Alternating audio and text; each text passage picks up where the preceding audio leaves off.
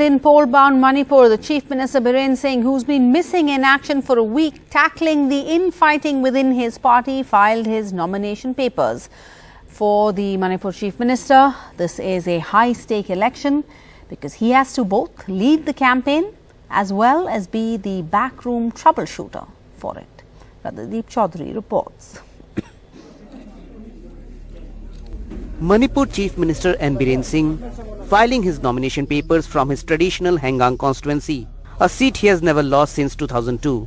When he first contested as a regional party candidate, Singh was accompanied by state BJP leaders including Manipur BJP chief A. Sharda Devi, but no central leader was present. After filing his nomination, Mr. Singh attacked the opposition Congress, saying the rival party's manifesto was only propaganda. Manifesto should be practical. It should not be a mere propaganda. But our manifesto will be very practical and, uh, you know, uh, it can be implemented in the field. Otherwise, hearsay or bluffing is nothing to do with the people.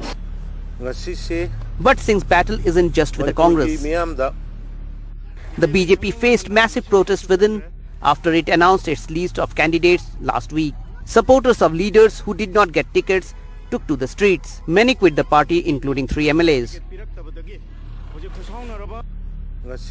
Party insiders say the BJP was facing serious dissidents in as many as 16 seats until Biren Singh, who has been missing from campaign since then, got those who were denied tickets face to face with party candidates to ease out differences and put a lid on a larger revolt within the party.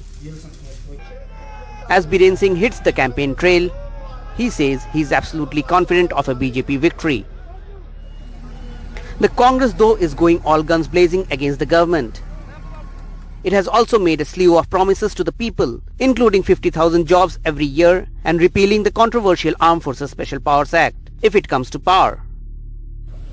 They have misused the power and remain in government in five years in illegal manner, totally unconstitutional. The two MLAs were disqualified the Honorable High Court on office of profit.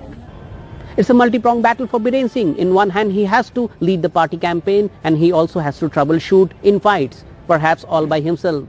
At a time when one of his ally, the NPP, is gaining traction and his former party, the Congress, is trying to upset his plans of securing an absolute majority in Manipur.